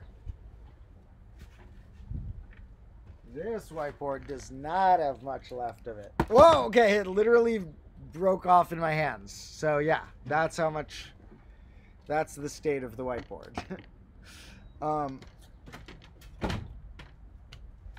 so, uh, people are noting uh, some stuff about the desk. Someone saying avoid pentagonally generated shapes. Hmm, I forget what that's in relation to. And let's see. Dooba dooba doo. And yeah, thank you for everyone joining me. And to those distracted from their homework who are saying that somewhat jokingly and somewhat not. Um, remember, you know, to try and get what can be gotten good out of the homework. But is that something on me? Yeah. Dirt on me or something. Um, and remember that there can be some fun you can get out of homework, even though some of it might be a chore. And so hopefully you can get some fun out of it. But some of it is just a game you got to play. There's parts of that type of school that are for learning, and there's parts about setting up your future in society and getting a good job and all that boring stuff. So, I mean, it could be interesting. I'm not putting down that part of it completely, but that's not what we are here for. We're not here for setting you up with a diploma. We are here for setting you up with some knowledge and appreciation of life. Of course, to people who my streams are at a bad time for, I try and make them watchable afterward to a degree at least. I don't always have time to add timestamps to them these days anymore. If anyone who watches these ever wants, feel free to leave comments with timestamps of different moments. And I might even pin one of your comments if it contains a bunch of timestamps. So that helps viewers from the future find when I talked about what. But in general, I try and make the live streams so that they could be watchable all the way through, but definitely more in a backgroundy way. This is my less perfectionist channel where you get the full story of all the stuff going on on a given shoot, a given video experience. Whereas the other channel, I spend, you know, maybe a week per episode planning and then filming on separate days and then editing together and stuff like that. And so the other channel, I mean, the actual filming stuff is very in the moment, but the process of the other one is more my like me making art projects throughout the week almost. Whereas this one is just like, let's give some more glimpses into some more fun learning in between all of that. So you can always watch these later, or if you need to, you know, don't need to watch all the streams unless you have a bunch of time.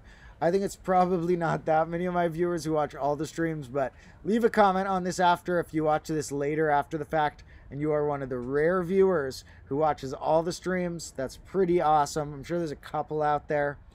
But mostly, I want to make sure everyone always watches the episodes on the main channel because the streams are more casual. The shorts do well enough for themselves on the page. The bonus videos are videos that I made bonus on purpose. I filmed them in one take, so they're less planned, even though they're correct info. They're less planned. They're you know, not edited, and the bonus videos I make on this channel are stuff that may show up in a way better condensed form on the main channel, main combo class channel at some point. So all the stuff on this channel for various different reasons needs less help. Like the live streams need more help. It would be cool if they went to a wider audience with more comments. But I don't really care. I kind of do them for fun. They don't expand the audience that much anyway. They make a deeper community out of the audience. It's not about the live streams, if anything, might lose me viewers sometimes. But they make the viewers who are here enjoy the community more and, you know, come down the combo rabbit hole. But to those who can't catch any content on this channel for any reason, this channel is kind of just for like a lot of content that I like to make since I like to make a lot of stuff. So it's okay if you don't watch all of it. Do make sure though that you watch at some point or another all of the episodes on the other channel called Combo Class because those ones for sure if I put out an episode are in the category of like, oh, I hope all my fans have seen this. Then on that channel this grade, I will occasionally start posting some of my shorts on that channel too just because the shorts did so unbelievably good at showing people this channel. And now this channel, that is my last perfectionist channel, has way more subscribers than the one with my main episodes. So even though this is still going to be the one with most of the shorts, for a few of the shorts that I'm planning that are going to be like more detailed, more perfected and stuff, I might put a few on the combo class channel just to like show the shorts algorithm this channel exists too.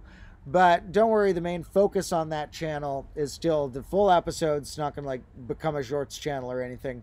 Those are mostly just like to do a few of them this grade to show all the people on the shorts page who are for some reason subscribed to this channel and not that one that that channel arguably has my better content. But this, you know, quantity versus quality. There's pros to quantity as well. I'm not saying this isn't quality, but I'm you know it's what they might my two channels might lean toward. All right. And somebody is looking forward to bird ID. That'll be fun to learn the different sorts that live around here. Also, like I said, I will be staying somewhere over this next week that has a few redwoods and I may put some of these large redwoods in the background of a streamer video. So that'll be a nice setting. For those who don't know, it's a very large tree and a very softish, beautiful one. Cool. And thank you all for joining me in any case. I think I should wrap up because the darkness is hitting. Thank you especially to whoever gave me all this cool stuff where we will, in the future, discuss this normal distribution in Galton board more. We will fiddle with our snakes. We may have times where it's useful. Whoa, my clock egg almost fell off the table. Put it in a box for now. And might use these to see different directions. Oh yeah, if I have them upside down, I can see the sky. That's cool. Maybe I can see a bird. No birds at the moment. And they even sent this tensegrity or whatever the word is suspension thing. Normally a knockoff Lego, I would be like, oh man, I would like bricks, but I can't mix them with my normal Lego bricks, so they won't work as well. But this doesn't matter because it's its own little self-contained device. So I don't care if they're copying Lego. It's really cool, and I can't wait to build it. So, hi to everybody saying hi to different areas. And somebody says there are three in parentheses things on the table. Hmm. There are, I'm not sure what you mean by that. There are many types of thing on this table. As far as the gifts, they basically came in a double sun, two sunglasses, two snakes, a suspension thingy, and a Galton thingy. And there's other random stuff around here. I should wrap up the stream as the darkness hits anyway and work on whatever writing slash editing slash studying I want to do for the night early so I can try and go to bed at a reasonable time and catch up on some sleep.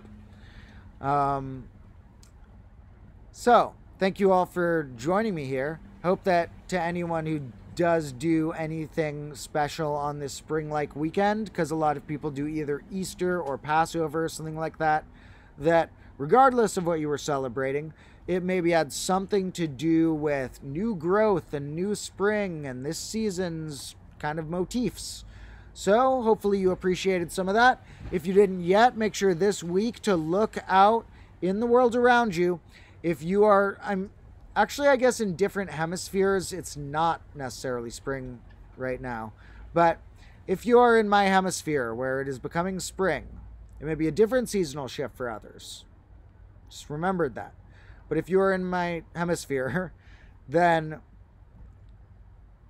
make sure to look at some of the cool, nice blossoms that are going to be sprouting on some of the trees because trees right now are not quite at the fruit stage, that's summer's deal, but they're at that nice little making blossom stage. Attract some bees, some other pollinators, get pollened up, make some nice fruits. So, like the apple trees in my front yard are starting to make little flowers. So, we'll check those out soon because the guava tree, as I showed once, once it makes petals on the flowers, they're edible. Once in a while, if you do your research, you can eat stages of the plant before it fruits. All right. Thank you all for joining me here. We are going to slip back into the darkness soon. And We'll be back with some sort of content tomorrow because I had a busy weekend of hanging out with friends and doing a lot of fun stuff with them. And now it's time for a busy week of teaching fun math and science and language and such. Mostly math, as you know, like we like to do around here, but I like teaching some other stuff as well. And here we have our upgraded combo class you can barely see because of the darkness. But darkness is one of those natural elements. I kind of like it because just like the rain, just like those four elements, in fact, let, we could almost call the fifth element as being the darkness because amidst all those other elements with all their interactions, they can have different shades. Sort of like how you have primary colors and then you have tints, white to black. How dark do you make the mix of primary colors? You can't make dark green with just yellow, blue, and red, you need some black. And so, similar to tints, you know. Uh, to whoever asked what grade we're in, we are in grade negative 2, which is cool because negative 2 has more powers than negative 1. For example, base negative 1 isn't as functional as base negative 2. We've actually talked about base negative 2. That's in an episode on that combo class channel. And other things. 2 is sometimes where the fun gets started. 1 is so powerful, but sometimes it stays at home. Sometimes with the patterns, 1 is so powerful at being itself and staying at home. 2 sometimes takes us on journeys. So, maybe like that. Maybe we'll take some more field trips and journeys while we learn. So, thank you all for joining me. We're going to log off now, and I will catch you in either a live stream or some sort of bonus video in a day or two, and various content throughout this week. During the weekend, there will be the next full episode, which will be the first full, like, this is my official math lesson of grade negative two on the main channel. That will be coming out this weekend but there will for sure be some content on this Domotro channel before then. One last shout out to whoever sent all this stuff, and a reminder to the rest of you got any broken clocks? Check out that video linked in the description where I tell you rules for what you should or shouldn't send me. Well, love you all. Appreciate the spring or other seasonal shift that's happening wherever you're at. And if you want something fun to study, remember that in my last stream, Part of last stream was just going through a bunch of different Wikipedia articles that I recommended people read, and we just skimmed the surface of them. So look on Wikipedia. I remember some of my favorites. Look up uh, list of types of number, list of numbers, list of prime numbers, table of divisors, table of prime factors, table of bases, list of numeral systems. I think those are the ones we had. Uh, look up those things on Wikipedia if you want to do some extra studying tonight. Those are fun. Also, you know, some things to be said about a good old paper book. But there's also some good things to be said for relaxing and watching YouTube. So, you know, maybe you already studied. In any case, I'll catch you in the next one. And I love you all. Whoever um, asked about the Discord earlier, make sure to check out that. Also, extra special thanks to the people who supported me on Patreon. Those supporters are very helpful, and they're a part of why I was able to like make this work of getting a grandfather clock in here and stuff like that. And so, extra thanks to them. Discord and subreddit and stuff are in the description. And I'll see you again.